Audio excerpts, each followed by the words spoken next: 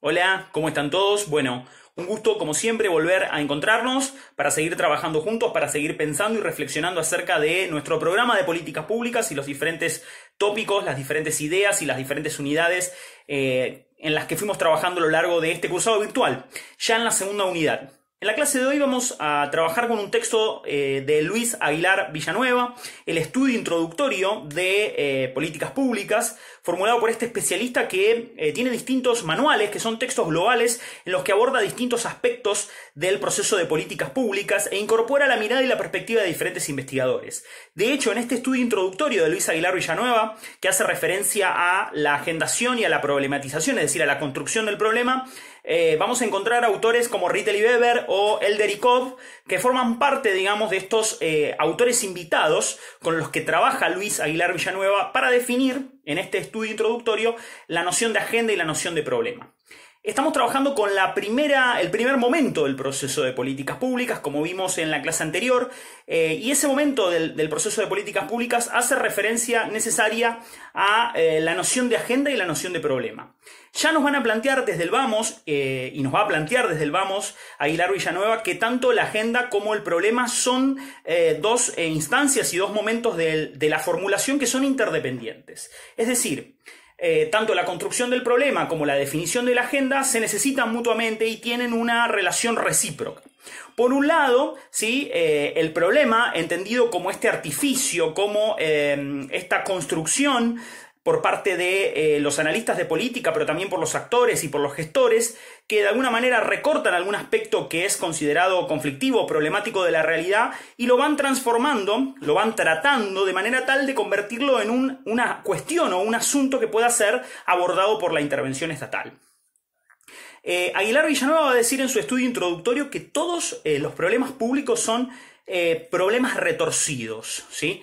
¿Qué quiere decir con esta idea de problemas retorcidos? Esto lo extrae de eh, una definición de Ritter y Weber que plantean que eh, los problemas públicos siempre se tratan eh, de problemas de índole conflictivo, porque son relacionales, porque implican una multiplicidad de causas, porque su complejidad hace que necesariamente intervengan múltiples actores en su definición y porque al ser interdependientes sus causas no son de fácil resolución. Es decir, una vez que el Estado toma partida, eh, o toma una posición para intentar resolver alguna de las dimensiones de, ese problema público, lo que termina pasando, dicen Rita y Weber, es que eh, se abren nuevas dimensiones del problema. Es decir, la intervención estatal que apunta a resolver alguna de sus dimensiones, lo que termina eh, haciendo es habilitar nuevas dimensiones conflictivas.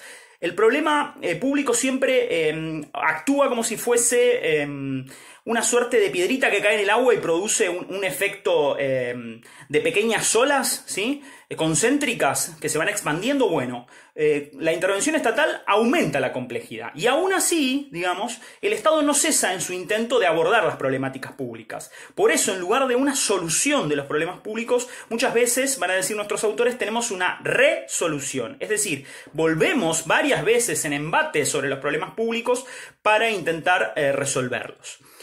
Los problemas, además, eh, dirán Rittel y Weber, dentro del estudio introductorio de Aguilar Villanueva, tienen dos dimensiones los problemas públicos. Una dimensión vital, ¿sí? el problema vital, que hace referencia al modo en el que las personas, los sujetos, los actores vivencian existencialmente una problemática determinada, la conciben individualmente, y una dimensión cognoscitiva, que tiene que ver eh, con eh, el modo en el que los decisores, los analistas de política, se apartan de esa dimensión existencial de lo que les sucede a los actores e intentan recortar la problemática, e intentan acotarla, intentan hacer una construcción lógica del problema, articularlo y ordenarlo, delimitarlo, ¿sí? Darle tratabilidad, ¿sí? ¿Qué quiere decir darle tratabilidad? Que el problema sea plausible de ser solucionado, que el problema sea plausible de ser abordado por los instrumentos que tiene el Estado para eh, circunscribirlo y para dar respuestas.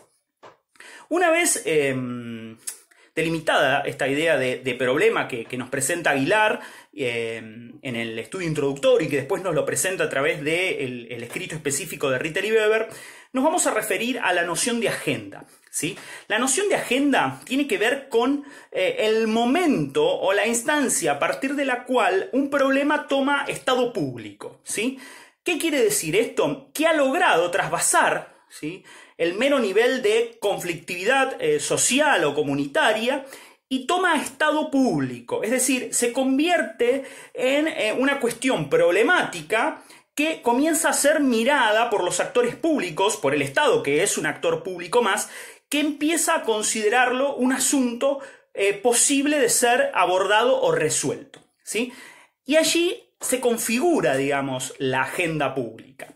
La agenda pública siempre implica eh, la necesidad de eh, seleccionar, acotar, ¿sí? Y volver tratable un problema. Es decir, tenemos por un lado aquellas cuestiones que la comunidad política, la comunidad social considera como problemáticas irrelevantes, ¿sí? cuestiones que por lo general son genéricas, y tenemos la instancia en la cual esas cuestiones más bien genéricas comienzan a pulirse, delimitarse y acotarse para pasar a formar parte de la agenda.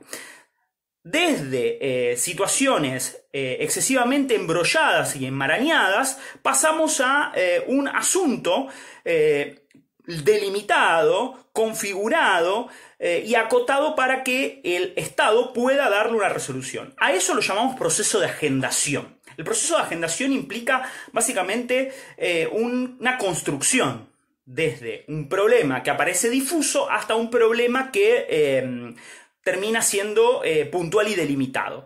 Una issue, va a decir Aguilar Villanueva. ¿Qué es una issue? Eh, un asunto problemático, un asunto conflictivo. Eh, y en ese sentido, no es, nos es útil, digamos, entender cómo esa issue pasa desde em, la dimensión comunitaria y social a la dimensión público-estatal entendiendo las dos nociones que nos ofrece eh, Aguilar Villanueva respecto de lo que es una agenda.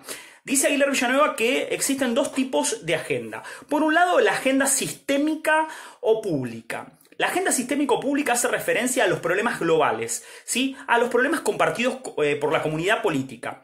Cuando hablamos de problemas eh, de la agenda sistémica nos referimos a aquellos problemas que por su grado de generalidad son difíciles de ser em, circunscriptos. ¿sí? Por ejemplo, em, decir que la, la, pobreza es un problema, ¿sí? puntualmente. Eh, en cambio, cuando hablamos de, em, de, problemas ya acotados, de problemas em, delimitados y recortados por la, intervención de los decisores y los analistas, nos estamos refiriendo a la agenda institucional o formal. ¿Qué pasa en la agenda institucional o formal? Hubo un proceso de concretización. ¿Qué quiere decir que hubo un proceso de concretización? Que los decisores y los analistas han decidido observar, acotar y aceptar determinada problemática y transformar ese asunto controversial en un aspecto que a partir de ahora es, como dijimos antes, plausible de ser tratado. Una issue o una cuestión problemática que tiene tratabilidad. ¿sí? Eh, esto por un lado. Y después, eh, Aguilar, Villanueva se pregunta eh, de qué manera ingresa esas cuestiones problemáticas pasan desde la agenda em, sistémica a la agenda eh, institucional. ¿De qué manera pasan? Eh, hay un proceso, ¿sí? Como dijimos recién, eh, la agendación es un proceso. En primer lugar, necesariamente tenemos que tener un asunto controversial. Ese asunto controversial, por lo general, parte de un evento detonante que eh, llama la atención de la opinión pública. La opinión pública en un sentido complejo, ¿sí? La opinión pública que no solo abarca a los actores sociales o comunitarios, sino también a los actores institucionales. Ese evento disparador eh, siempre tiene eh, actores iniciadores, actores patrocinadores. Una problemática siempre tiene detrás de sí a un actor o a un conjunto de actores patrocinadores que establecen coaliciones más o menos estables, con ciertas reglas de juego incluso, que después las vamos a ver, para patrocinar e iniciar una problemática determinada y hacerla saltar, hacerla catapultar desde la agenda sistémica a la agenda institucional. Eh, en esa tarea, los actores patrocinadores se toman la enorme responsabilidad de eh, acotar y delimitar esa problemática. En ese sentido, es muy importante, dice Aguilar Villanueva, que eh, los actores se tomen la responsabilidad de argumentar recurriendo a elementos simbólicos poderosos eh, la problemática que sustentan y que intentan llevar a la agenda institucional y gubernamental. Esto en cuanto al proceso de eh, construcción de un problema de manera tal de que pueda ser incorporado y agendado en la agenda institucional, viniendo de la agenda sistémica. Eh, por último, ¿sí? tenemos que plantear dos cuestiones importantes que nos plantea el texto de Aguilar Villanueva. ¿Cómo decide el gobierno, los analistas y los decisores gubernamentales que una problemática es plausible de ser incorporada en la agenda institucional y quiénes inciden en esa agenda? Em, lo que dice Aguilar Villanueva, siguiendo un poco em, lo que plantean Kopp y Elder, es que em, por lo general los gobiernos siguen un modelo de inserción de una problemática en su agenda que se puede denominar el modelo de la anarquía organizada o el modelo eh, del bote de basura. ¿Por qué el bote de basura? Porque ante una problemática que se le presenta al gobierno de un evento detonador o un evento disparador, eh, los gestores meten la mano en un bote de basura y allí eligen las alternativas y los instrumentos que tienen a mano para resolver esa problemática. Eh, ¿Cuáles son los, caracteres de este modelo de bote de basura? Bueno, las preferencias gubernamentales, dice, dice Aguilar Villanueva, son siempre cambiantes. Es decir, el gobierno y los decisores y sus analistas se van guiando por la coyuntura y van actuando en el contexto de los conflictos que plantea la coyuntura. Eh, en segundo lugar, eh, las tecnologías y los procedimientos que, utiliza, eh, que utilizan los decisores y los analistas no siempre son instrumentos coherentes entre sí. Muchas veces son instrumentos no claros, son procedimientos que van cambiando en función de los intereses de la coyuntura. Y la participación de los distintos actores en el proceso de la construcción del problema es muy inestable. ¿Qué quiere decir? Que hay momentos de alta ¿sí? participación, involucramiento de los actores institucionales, gubernamentales, eh, burocráticos, y hay momentos de baja. Eh, y además, eh, nos marca tanto Cobb y Elder como Aguilar Villanueva, dicen que cuando es necesario introducir o decidir la introducción de una problemática en la agenda institucional, nos encontramos con múltiples restricciones. ¿sí? Es decir, las restricciones acotan el margen de posibilidad de de abarcar a los problemas en una definición amplia y siempre existe en el aspecto institucional la necesidad de acotar las problemáticas. Y esto tiene que ver con definir em, la adaptabilidad, una suerte de patrón de adaptabilidad y tratabilidad del problema. Todo problema tiene que ser domesticado, todo problema tiene que ser acotado, circunscripto, como dijimos eh, al comienzo, en este marco de múltiples restricciones. Y cerramos con esto que les mm, preanuncié recién. Eh, ¿Quiénes inciden, además del propio, eh, de los propios actores disparadores o de los propios eh, decisores en la introducción de un problema en la agenda institucional viniendo de la agenda sistémica? Hay dos modelos, ¿sí? Hay más, pero bueno, nosotros vamos a tratar solo dos hoy. Hay dos modelos de incidencia en la agenda. En primer lugar, eh, el modelo denominado triángulos de hierro, ¿sí? O el, modelo de los subsistemas de política.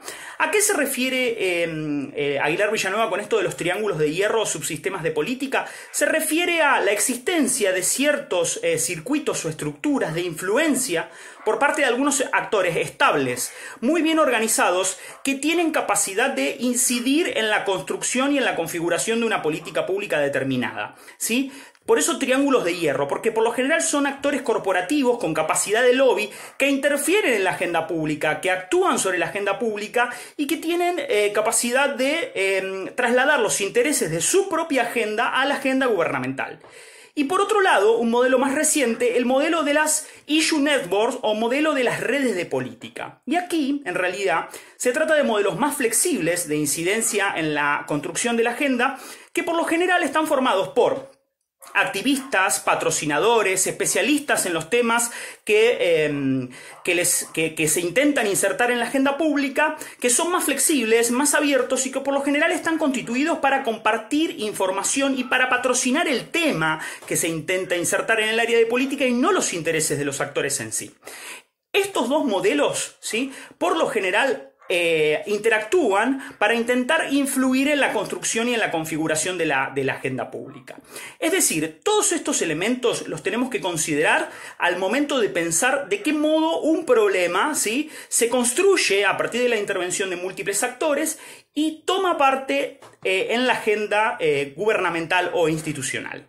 Esto fue todo, eh, espero que, les haya servido, como siempre les digo, eh, hagan la lectura del texto, acompáñenla, tomen nota en sus, en sus apuntes y cualquier duda, cualquier consulta que tienen me la, me la acercan por los medios que, que crean convenientes. Nos vemos la, la próxima clase.